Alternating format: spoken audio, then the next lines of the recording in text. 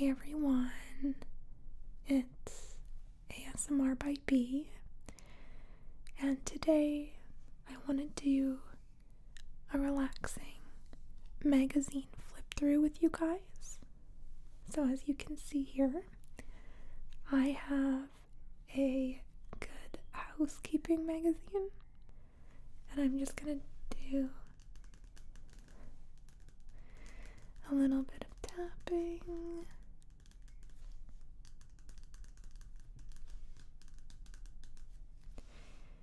And so I was going to try and get um, a Cosmopolitan magazine because I thought that would probably be I like pop culture is you know like fun and I thought that that would probably be the way to go.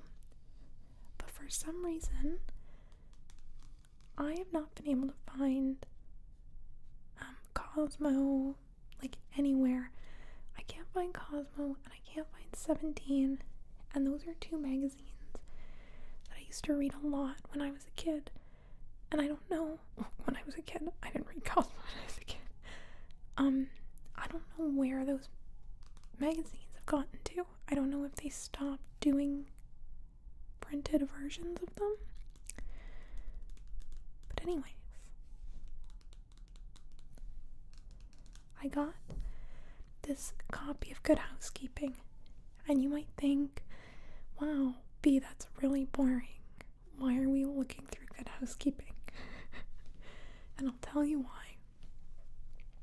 If you've been listening to my whisper rambles, you will know that I recently purchased a home, my first home, and I thought that this magazine would be a really great, like, way to learn some household tricks. I thought it would be a really great way to um, to learn some helpful things. So, as you can see, it is good housekeeping, cleaning shortcuts. C L E A N I N G. And the reason that I'm doing this magazine flip through is because I had I put up a community post and I asked what you guys were wanting in terms of videos and a people said a magazine flip through and I thought that I had a couple magazines here that I could flip through, but it turns out I don't. So I went out today. I got my nails done. Um, they're not done. Done. I just I got my the shellac taken off because they were looking rough. It's been like a month and a half since I got them done last.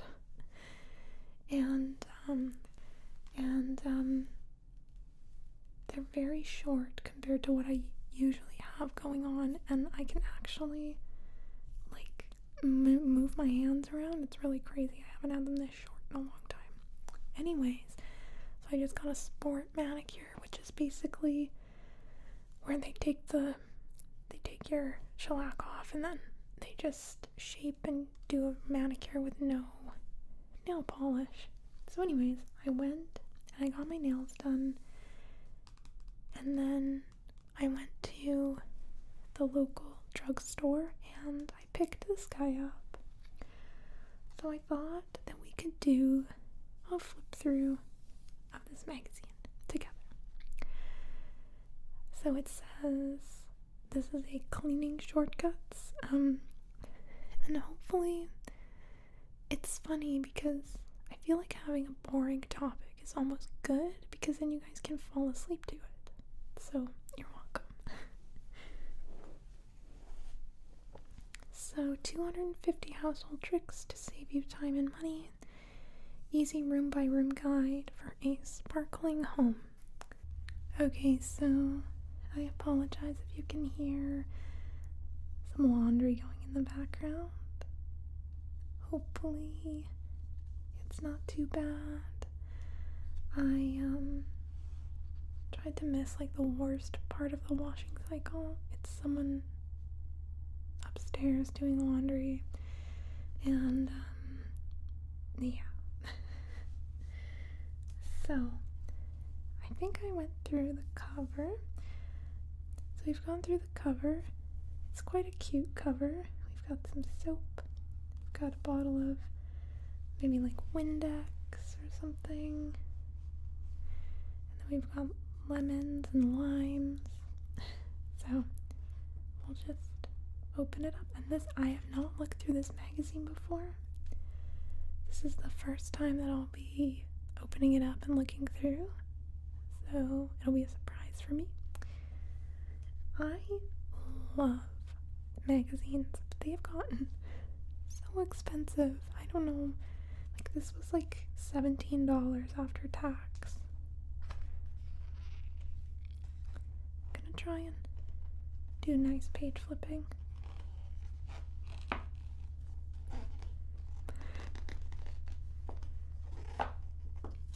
I lied, that wasn't nice. That was not nice at all. So there's some like products they're advertising over here. The one problem that I have with some magazines, and unfortunately, this does look like a culprit, is the big focus on like diet content. I think it's just, I'm not a big fan. Um, like low calorie diet, blah blah blah. Like, get that out of here. Um, I love this dishes for two. That's really fun. Love the fireplace. Really want to look at getting an electric fireplace at my at the house that we've bought. So here's the contents of this book. We have essentials page two common problems. That's an exciting one. I'm excited about that.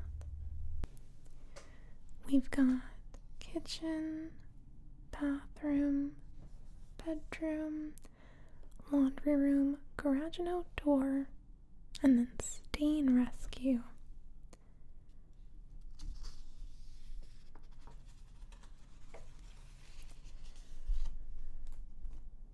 So we're going to start off with Chapter 1 Essentials.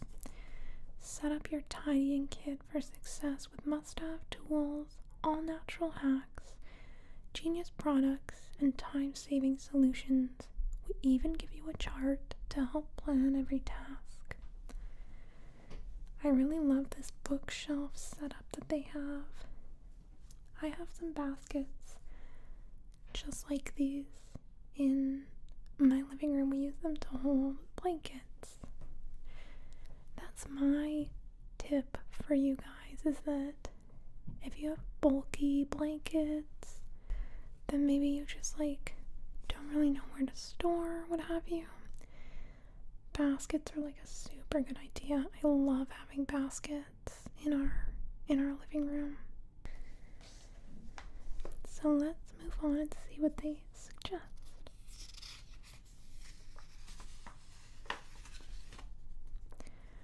Must have tools. Stock your cleaning caddy with the essentials to save time and avoid headaches. Okay, now there's definitely a lawnmower going in the back, but I think we're just gonna have to power through. So sorry. So the first one is a microfiber cloth.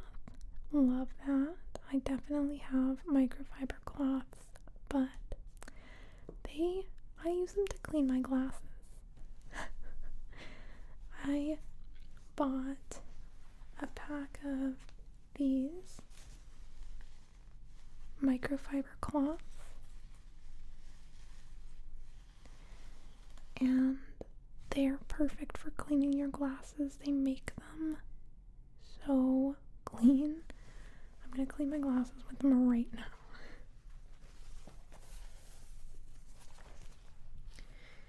They they work magic. They're magic.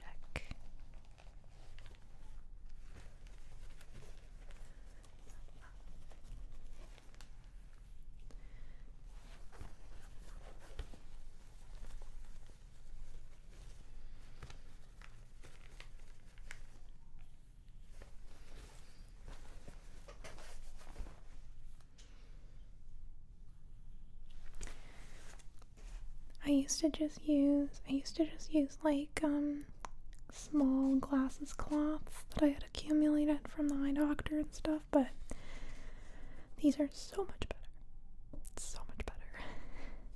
So microfiber cloths to dust and stuff. A vacuum. I think that's pretty self-explanatory. Broom and dustpan, mop and bucket. I have a Swiffer wet jet rather than a mop and bucket, and that's just what works best for me. I don't think it's recommended, like, every time clean. I think that it's recommended to use like a real mop. but I don't have time for that. No, I do, but I just don't want to. Paper towel, a squeegee. Yes, we are gonna have a glass shower in our master bathroom and a squeegee 100%. And maybe for, um, I wonder if you can use a squeegee on mirrors. Chlorine bleach and a caddy. I think I will get a caddy. I don't have one now, but I think a cleaning caddy would be amazing to keep under the sink and just have everything in one place. Um, as for the bleach, I'm a more of like a natural cleaners type of person. I really don't like working with harsh chemicals. So I much prefer to not use bleach personally.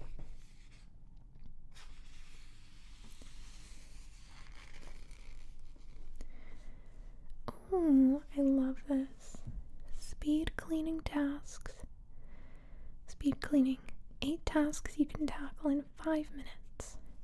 Are we talking about five minutes for each? Or can we do all eight in five minutes? It's looking it's looking like five five minutes for each. Loading the dishwasher with everything except dishware. Plastic toys, soap dishes, hairbrushes. Yeah, that's really interesting. Cause I've I know my mom used to do that. When we were younger, I feel like we would put things in the dishwasher. Um I am not I've never done that, but it's a good reminder that that is an option for sure. Number two is walk around with a lint roller. I love that because I have a couch in my office. You guys might have seen it in the background of some of my videos, but um, it collects hair like no other, and the only way to get rid of it is to lint roll it because it's like a fabric couch. So that's a great suggestion. Banish dust from the baseboard. Give your gadgets some attention. Oh, yeah. Cleaning like your phone and stuff. I'm never sure how you're supposed to clean electronics. I always get nervous. I always get nervous that I'm going. I sounded really Canadian there. nervous. I always get nervous that I'm going to damage them. So I think I want to get some like phone disinfectant wipes specifically so that I can sanitize my phone. I'll wipe down your purse. That's a great, like, that's the reason that I got this magazine. It's just reminding me of all the things that I could be doing. Because sometimes sometimes, you know, I don't know, sometimes I have some free time and Like, oh, what should I do? And these are great suggestions. We definitely don't have a garbage disposal, so we won't be worrying about that. We also don't have ceiling fans. I could have been tracing these numbers, I just realized. Um, yeah, we definitely don't have ceiling fans. We have this fun, like, overhead light, so that'll be something to clean for sure. Um, and then the last suggestion, number eight, is to toss that old pile of catalogs. We don't have too much of a problem with hoarding, like stuff like that. We don't really have magazine subscriptions or anything, so um yeah. This girl reminds me of Jessica Day from New Girl. If you if you've seen New Girl, let me know if she reminds you of Jessica Day.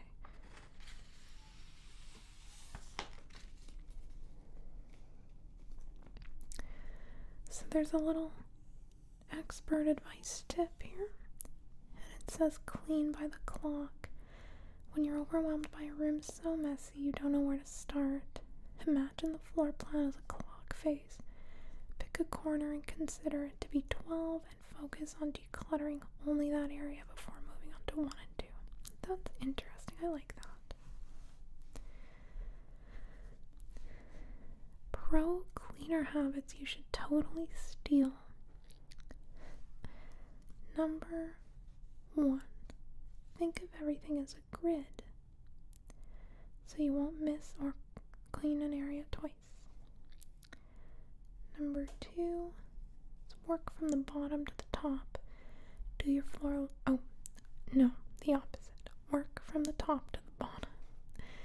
Do your floor last, that way you're not shaking dust and dirt onto a surface you've already cleaned. Very good. Number three is corral cords. They take up or they accumulate a lot of dust. Use hooks and not bins is number four. It's way easier to hang something up than to find the right bin, and hooks keep things visible. Once something goes into a bin, it's out of sight, out of mind. That's a good point. Personally have a problem with with bins. Um, I'm pretty sure I have a touch of ADHD, and if I don't see things, it really is out of sight, out of mind. Like, it's very hard for me to remember things. Um, so like a thing could go in a bin and like it'll just stay there forever. Five, have house only shoes. This is the most American thing ever. if you're not familiar with Canadians, we don't wear shoes in the house. I've never worn shoes in the house. Most people don't. I hardly wore shoes outside when I was a kid. I lived on like a farm, so I just went barefoot. Anyways, six, use cooking downtime. Don't waste time watching that pot boil. As food cooks, rinse countertops, prep tools, and put stuff away. It's a fantastic suggestion. Number seven, treat stains right away. Grab the pre-wash stain remover as soon as you see a spot. Clean a little every day. I think that is a, like a fantastic tip. It's so easy to let like the mess pile up and get overwhelmed by it, but if you just do like 5 minutes a day, it's so much more manageable. Number 9. Deal with clothing as soon as you take it off. Put it in the bin, fold it, so and so on and so forth. Number 10. Finish with the bathroom. Start your choice in the bedroom and move to high germ zones like kitchen and bathroom. Number 11. Vacuum first, then mop. And number 12. Listen to podcasts. I would love to know which of these tips you think is the most helpful or which one you already implement. Most of the time, I listen to um, music or YouTube videos while I clean. Um, it makes it more fun for sure. They've also got me 16 minutes to a clean house. Very helpful. I love this. So many of these um tips are so great, but they're all easier said than done. Like, yeah, just put your clothes in the bin when you take them off. But again, as someone who I'm pretty sure has undiagnosed ADHD, it's not that simple.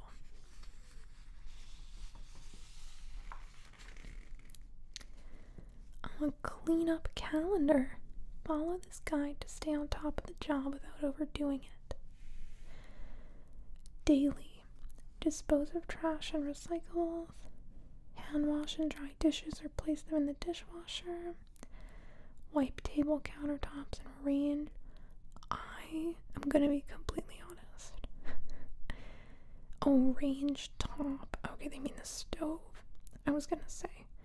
I thought they meant range hood, and I was gonna be like, I haven't wiped our range hood ever. So I know that's probably really bad. Wash coffee maker thoroughly after each use. Does that not seem like a little bit over the top? That's crazy to me. Sweep or vacuum floor. Vacuuming every day. Every day. That's crazy. That's crazy. White fixtures in the bathroom, chrome countertops, straighten towels. straighten towels. That's the least of my worries. Squeegee, pick up, straighten living spaces, make beds. Like, this is a pretty realistic list. Some of it's not so realistic. Like, we do not need a sweeper vacuum. If you've got kids, maybe it's a little bit different, but like, we don't need that. um, is there a drip pan? I don't think we have a drip pan. I don't even know what that is. Again, I've probably cleaned the knobs on the range like twice ever. Um, we just don't cook a lot of like greasy stuff, so it doesn't get really bad. Yeah, I really like this list though. I will be. Oh, common problems, chapter 2.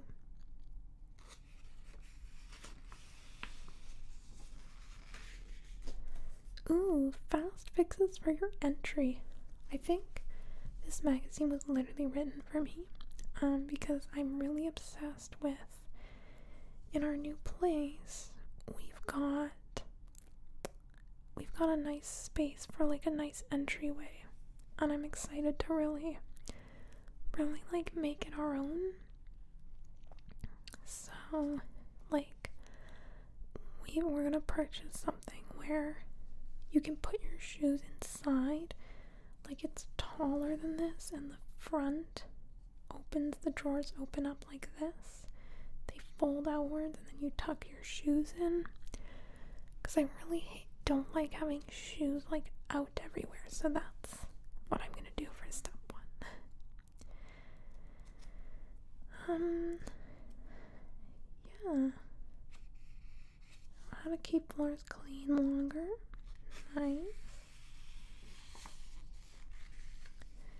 ways to spiff up wood floors. We don't have wood floors. We definitely have like fake wood. Vinyl. It's probably vinyl.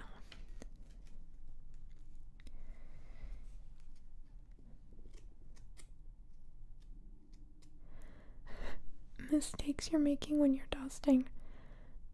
Bold of you to assume I dust.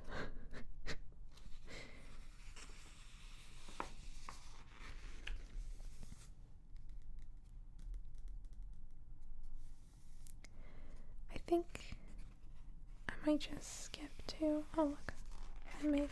I think I'm just gonna skip to the kitchen bit. This video's getting a little bit long anyway, so I'm not gonna go through this whole thing, but I'm just giving you guys a little sneak peek. Tips and tricks to keep your appliances looking and performing as good as new. I love that. I love a clean kitchen. I actually, while I was waiting for the noise to die down to film, I actually cleaned the island. We have a really big island in this kitchen.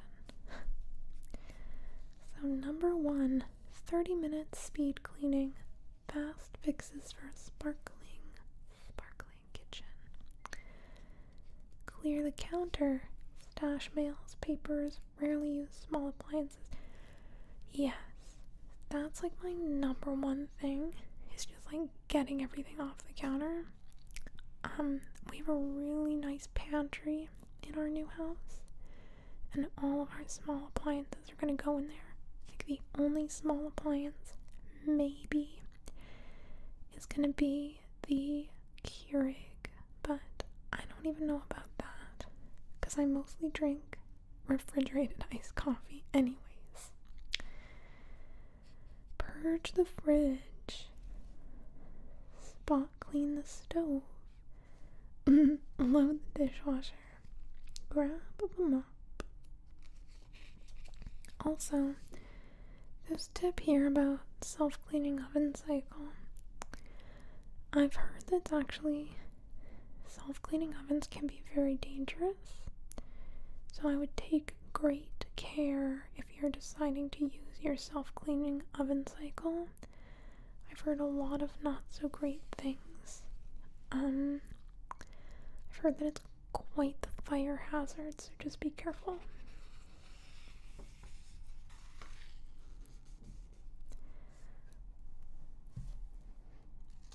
These are some really nice pictures. This is a really, really beautiful picture of someone's kitchen. The best thing that I did for our stainless appliances was get stainless steel wipes. I really love them. You can like wipe the stainless steel and it's really great. It makes it shine it's um really really great. Hmm, this is gonna be good. The dishwasher cleaning. Bathroom. Yeah, I think.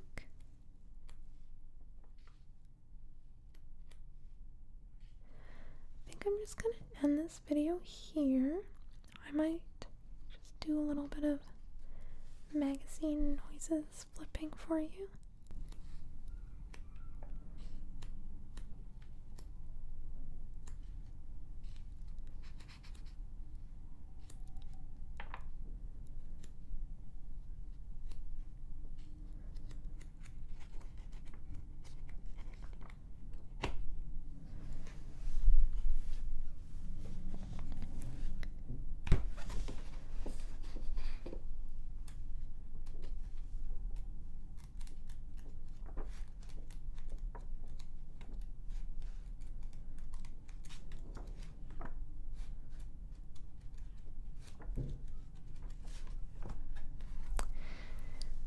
So I think I'm gonna end the video there. For those of you that were requesting the magazine flip through, I hope you enjoyed. And I hope everybody else enjoyed as well. I had a lot of fun. This was a really relaxing video to make. So thank you for your suggestions and keep them coming in the comments. I always welcome suggestions. So if there's anything within reason that you guys would like to see, that you guys would like to see, I would love to hear your comments and suggestions. that is it for today. Don't forget to like and subscribe. And I will see you as always in my next video. Bye, guys.